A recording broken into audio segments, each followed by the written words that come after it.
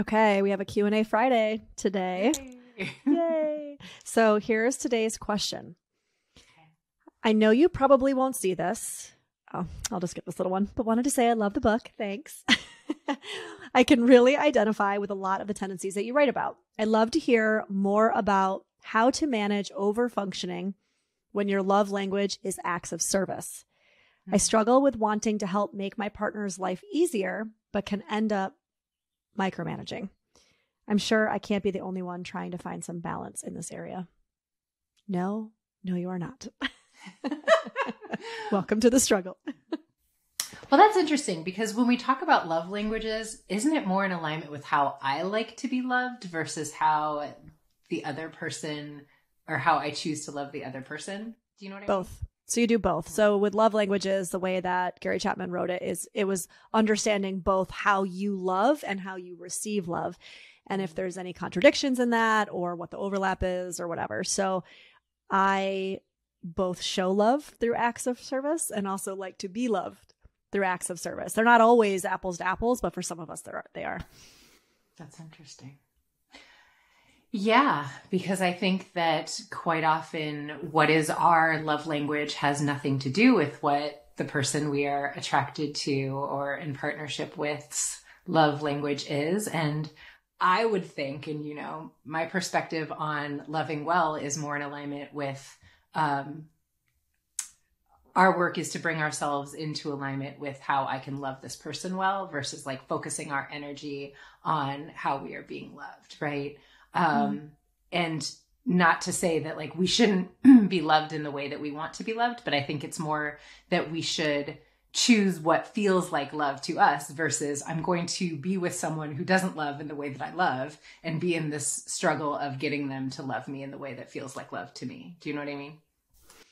Yeah, I think this is tricky because as somebody who also shows my love through acts of service, I hear what she's saying. Like I I have to be very mindful of the codependency that can be running beneath the desire for acts of service or to show acts of service or show love in that way because what I have to question is is it a true desire to show this person that they're loved by making their lives easier or is it in an attempt to soothe my own anxiety like if I make their if I make them less anxious, then I'm less anxious, right? Um, mm. If I make their lives easier, then my life is easier.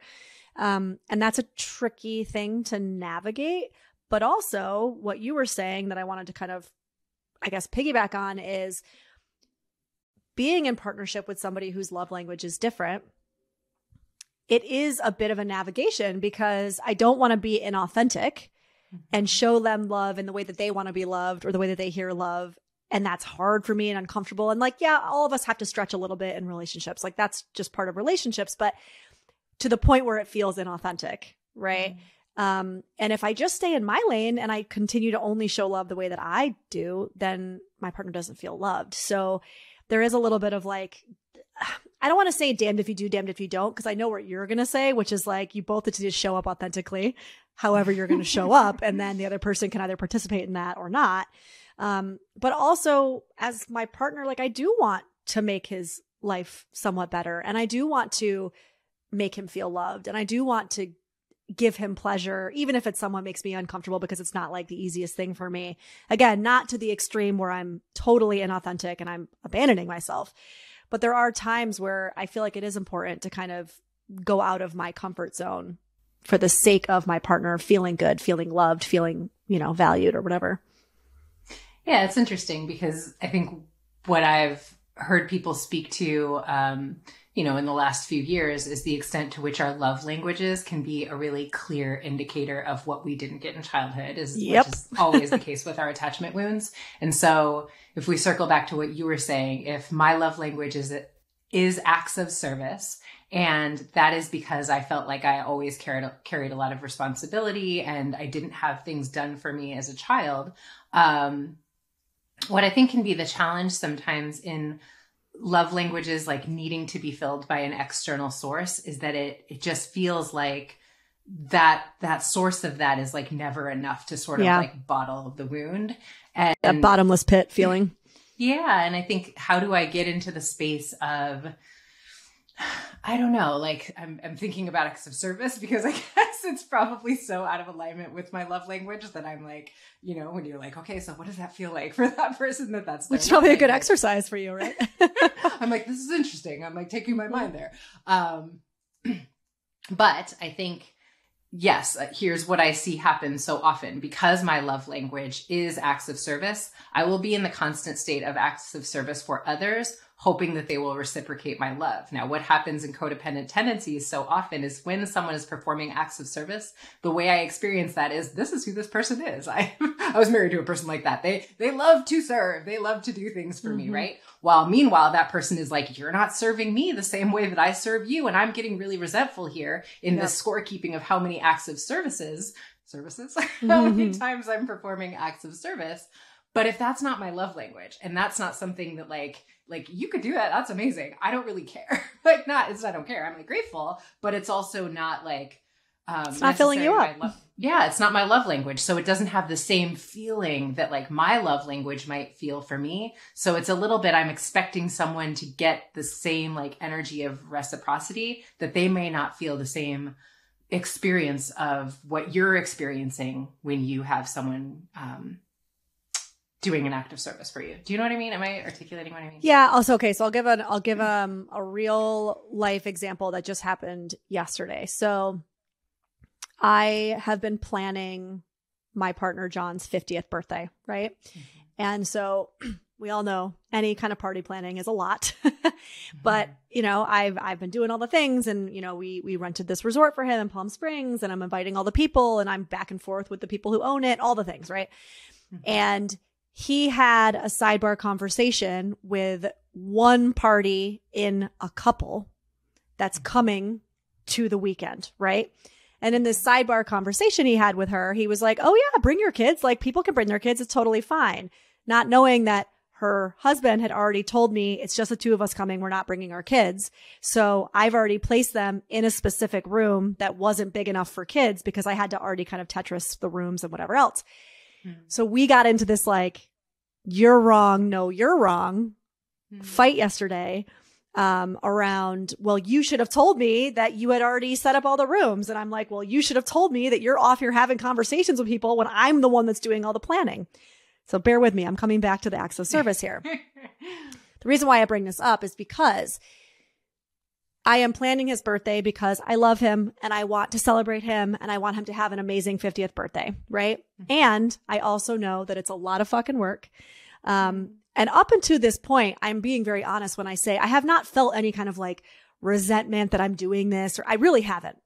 But yesterday, in the moment of him and I head to head, basically being like, you're wrong. No, you're wrong. And that was the kind of fight we started out with.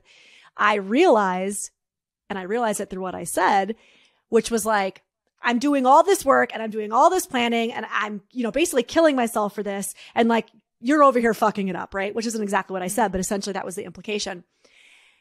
And I kind of huffed away and I was like, oh, that's so interesting. So am I doing it because I want the recognition that I'm doing it? Or am I really doing it because I really want to do this? Or can it be both, right? Can there be a little bit of a mixture of both? Because truly, I'm being honest when I say I have not felt any kind of resentment around planning this until yesterday when he, it felt like he threw something into my plans. And then suddenly I was like, don't you see me? Don't you see hmm. all the things that I do for you and what I'm doing for you and you don't appreciate it and all you do is throw wrenches into the things that I'm doing for you, right? Obviously that's not what I said, but that's like the feeling underneath it, right? So I use that example because I, I think it's actually a good example of like, I am doing this thing for him out of act of service because I, I want to show him how loved he is. And yet, is the motivation entirely pure? Is the motivation ever entirely pure. I don't know. Um, but I, I can imagine that, you know, this, this person who wrote in, it's like, if you're an acts of service person, you can probably understand the example that I've given and, and where, why I'm sitting with it now the next day being like, huh, okay, what's the motivation? Like, what do I want in return? Do I need anything in return? Right. So long winded example, but I feel like that kind of encapsulates this, what you're talking about with your ex too.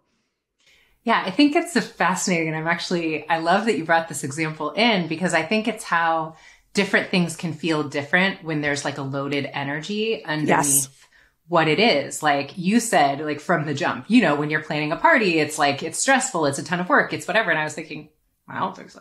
Like, I remember planning your baby shower and I was like, I didn't feel that energy. You know, I would like grab things off Etsy and it's not like, I don't know, like you're probably a lot more detailed of a party planner. So I probably, I don't bring the energy of what I'm doing in an act of service. It's like, but I there's think, perfectionism in this. yeah, I mean, I, sure. I think there's some like the level of pressure I put on myself to like make this a like beautiful event for this person because I love them.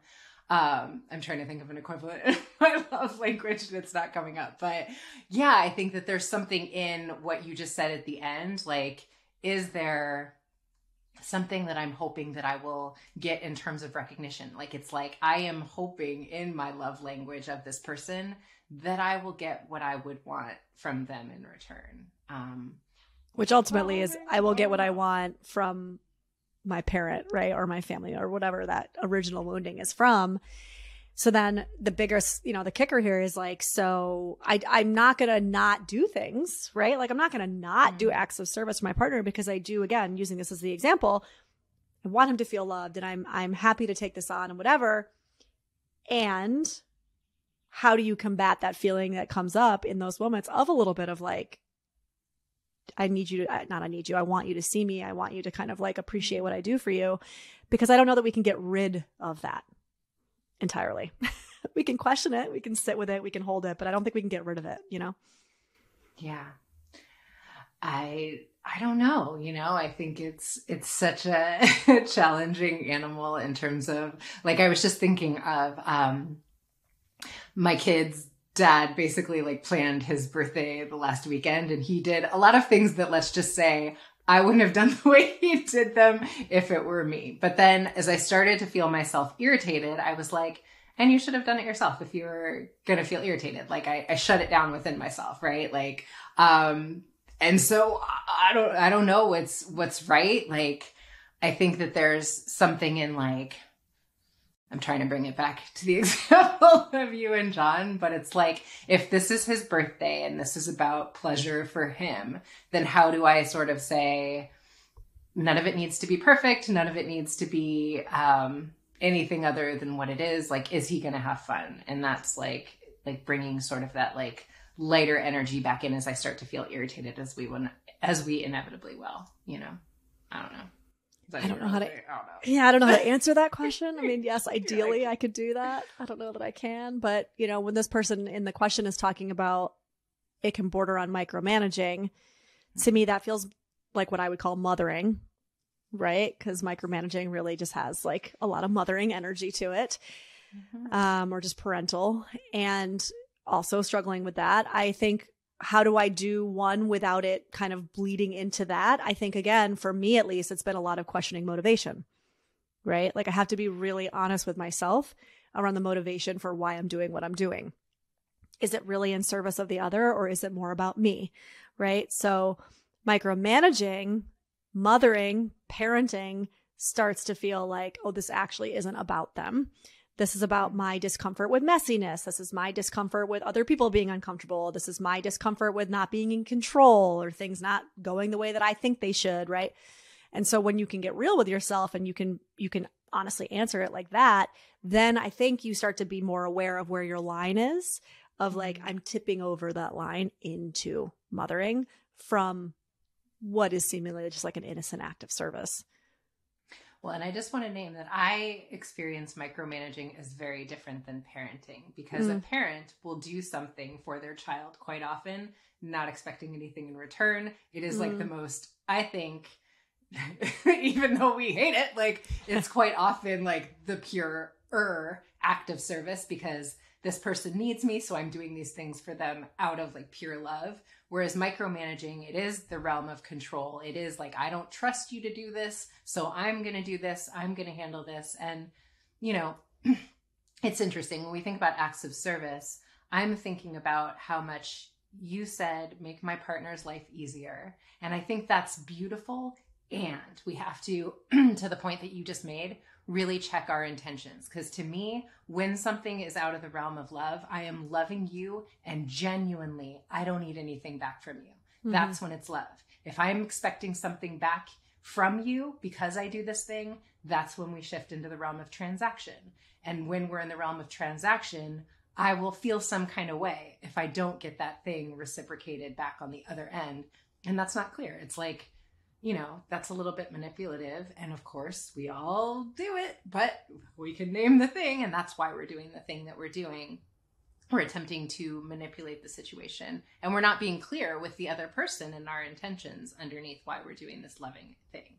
Yeah, that's a really good point. I mean, I still would say though that like in my experience of parenting, maybe not in the way that I am trying my best to parent, but in the way that I've been parented, um, micromanaging and parenting do go hand in hand. well, a lot of us had transactional relationships with our parents. And Yeah. to your point, like I feel like we're desperately trying not to do that to our kids. But a lot of, you know, us grew up with, and I want to name that, parents that like you behave the way that I do. That I want you to the way that I do. You behave the way that I feel like you should behave. And in exchange for that, I will give you my love. One, Mhm. that is the origin point of most of our codependent tendencies. But also, that is like there's like a fundamental lack of safety in that and i think do we want to perpetuate that in our adult relationships that like i will love you if you comply with the way that i feel like you should behave like that's that's a little bit um that's challenging for me emotionally in terms of calling that love Well, right. And so now we're talking about like conditional love versus unconditional love, right? Ideally, in a perfect world, my love for my kid is unconditional, right? Mm-hmm. It doesn't matter who they are, how they show up. I'm going to love them anyway. I'm going to show them love anyway, which is not a lot of our experiences that we've had growing up. Now, I've actually had this argument with people. It's funny. In romantic partnerships, the difference between conditional love versus unconditional love gets a little bit trickier because to a certain extent, romantic relationships are kind of conditional because unlike a parental relationship, like if you're going to be a total asshole to me, like I'm I'm probably I'm going to love you, but I'm going to love you from a distance. Like I'm not going to be in partnership with you, right? Um but if my child, I mean granted we're talking child not like adult child, if you're an asshole to me, like I'm still going to be in this with you. Like you're my child, you know? Um, now adult children would be a little bit different. As a parent, you might actually have to like set up a boundary and say, I'm not going to allow you to treat me like this. Right. So, but I don't know, like, what are your thoughts on conditional versus unconditional when it comes to romantic love? Well, to me, love and partnership are not the same thing. Love and alignment are not the same thing. Meaning, I got love for everybody. Like, I still love the F out of my ex husband. Like, I'll love him forever. It doesn't mean we're in alignment with partnering with one another. And I think that, you know, a lot of times we are making love conditional in a way that I don't feel like is loving. I think that is like the transaction. And there are a lot of people that would argue, like, you can't have love without transactions. And I, I just don't, that's not true for me. I think I can love someone and feel like we are not in align in alignment on being in partnership. And so if someone is no longer treating me the way that I desire to be treated, or um, we have the same vision for what we want to build in a partnership, I can love you. If I've loved you, I feel like I'm gonna love you. That's just a little bit the way that I feel like I'm built. It doesn't mean we're in alignment and continuing to partner. So I don't necessarily think the love is conditional, but I do think the alignment may be conditional or The partnership, you know, would be conditional. yeah, the partnership might be conditional. Yeah, that's a really good distinction to make because we can all live from a place of love and I can love you but not want to be in partnership with you. And that doesn't mean like the second you fall out of alignment, you have to cut and bail, but that might be a conversation where, you know, um again, like I'm just using the extreme example of like how someone's treating me. Like you might want to say to somebody in conversation with your partner, right? This is not loving. Like I don't feel loved in the way that I'm being treated and I want to continue partnership with you, but I can only continue partnership with you if it's, you know, a partnership of respect and of, you know, reciprocity when it comes to care and love and all these things. And then that is really what you have to hold yourself, you have to hold yourself to, right? So it's not about I will take the love away if you don't act a certain way, but it's like, well, I will step out of partnership because I know for myself that that's not the kind of partnership I want to participate in. But then that's on you to be accountable for that. Yeah, because I would argue it's not actually loving to allow someone to practice a behavior that is out of Mhm. integrity or out of alignment with their highest self with you. Right. Mm. So, like, each of us gets to choose who they want to be. But I don't think it's actually loving for me to say, oh, yes, act in any way you want. um, and practice that with me, that's yeah. not me loving you well. So sometimes to me, the loving response is a boundary. Sometimes the loving um, way of showing up in relationship is this relational container as it's been up to this point needs to change form because I don't think I'm loving you well by continuing to participate in you being in a lower vibration than I believe that you're capable of. And that's for me, to your point, to decipher for myself. Yeah, I love that. That's a really, really good way to almost like frame that kind of conversation. If you feel like you're in that place, is just like, you know, maybe the container has shifted and what it was then, it's not now. And, you know, we talk about this to death, obviously, where we, can that be okay? Like, do we have to hold longevity as the ultimate indicator of success in relationship? Or can we just simply hold alignment and fulfillment as the ultimate indicator of success in a relationship? And if you no longer feel in alignment, like, I don't have to take my love away. I can still love you, but the partnership needs to end because we're no longer in alignment. And does that mean that we failed? Does that mean you're wrong or I'm wrong? No, it just is, you know, and, and can we walk away from it, but still be both in a place of love? Um, even with my kiddo, as you're, as you're saying that, I'm thinking, even with a three year old, right? Yes, I'm going to continue to show up and love her, even if she treats me like shit, because she's three and she frequently bullies me because that's what three year olds do. But I don't have to just actively participate in it, right? Like I obviously as a parent, I'm still very much active in saying like, we don't speak to people that we love in that way. Like that mm-hmm. really hurts, you know? And, um, and I can instruct her and guide her in how you, how you hold people that you love with reverence and what that looks like and what's that, you know, what that sounds like. And so even in those dynamics, like, of course, I'm still going to stick around, but I am still going to give her guidance on mommy doesn't like to be spoken to that way. It doesn't make me feel good. And it doesn't make me want to, you know, in, in the instances where we're playing together, I don't want to keep playing with you. Like it makes me want to walk away. I don't want to keep playing with you if you talk to me like that, you know? Um, and that is a really good instructional point, I think, for kids to hear.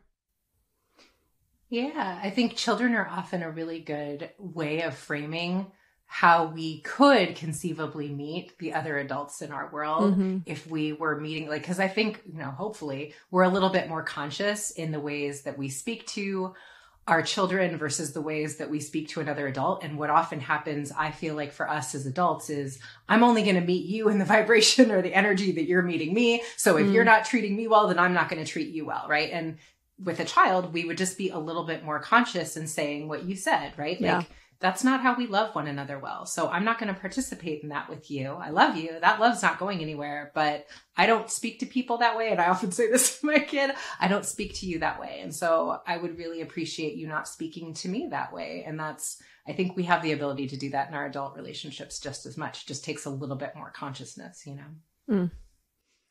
Well, that was a nice little bird walk. I think we covered a couple a couple points.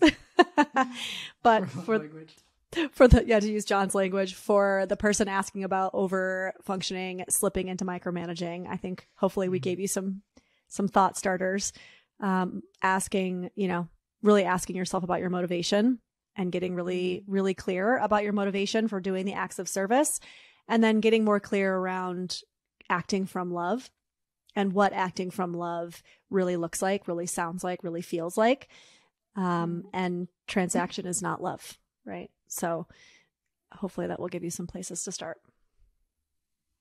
Love it.